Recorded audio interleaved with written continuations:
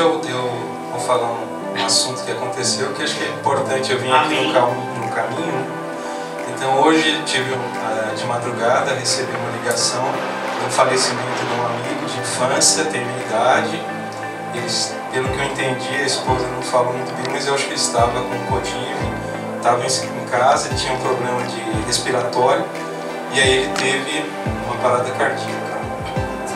Aí, enfim, um amigo de infância convive, adolescência, é, até mais ou menos uns 24, 25 anos, né, uma vivência grande com um grupo de amigos, aí você perde o contato.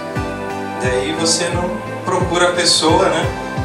Acaba a vida, o dia a dia acaba não desenvolvendo, a gente acaba não tendo tempo, sempre é o tempo, né? mas também não vai atrás, também o outro não vai. E aí eu estava pensando assim, comecei a ver, eu também, aí tinha que, tentei ir no, no cemitério, aí eu liguei, só que hoje tem as restrições, né? Pode só 10 pessoas, eu liguei, a mulher falou, você vai ter que ficar fora tal. E aí o caixão vai ser lacrado, tudo, e você fala, puxa, não vai adiantar eu ir lá.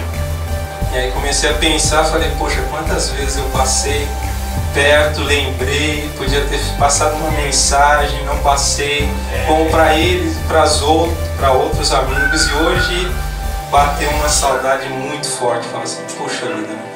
mas enfim, eu, eu orei para ele, Deus que guarde num bom lugar, ele tenha paz, mas eu também refleti que eu tenho ele como outros amigos, aí vários amigos que começaram a passar mensagens um para o outro, e aquela coisa assim que você perde, né? Eu podia ter ajudado em algum momento que passou dificuldade, com condições não ajudei, mas agora eu não posso né, voltar ao tempo, né? Mas isso fica, acho que é a minha palavra aqui.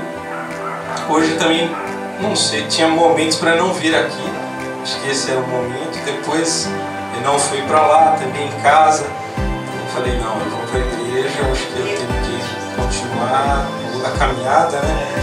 E também é, lembrar que assim, essa reflexão que a gente tente, eu sei que é difícil, a vida de todos nós somos muito difíceis, a correria do dia a dia, mas não, vamos parar um pouco e ver aquelas pessoas que tiveram uma passagem na sua vida, a sua trajetória, e assim é tudo mesmo lá de trás, não vamos esquecer quem em algum momento fez parte da sua vida. Então hoje eu, eu saio daqui assim repensando isso, às vezes por bobagens, né, por coisas que a gente sabe, né, tem a vida, você conhece uma pessoa, às vezes você se dá bem, o outro não, mas a gente não pode ter essa visão, todos somos iguais, né, e, então assim, o que fica é a mensagem, não vamos esquecer o próximo, tanto os parentes também, né, nessa pandemia, acho que é, é uma coisa muito clara, eu também uma outra coisa, poucas pessoas você vê procurando você, né? Então, é uma outra coisa muito séria. Então acho que é o que eu deixo aqui para a igreja, que vamos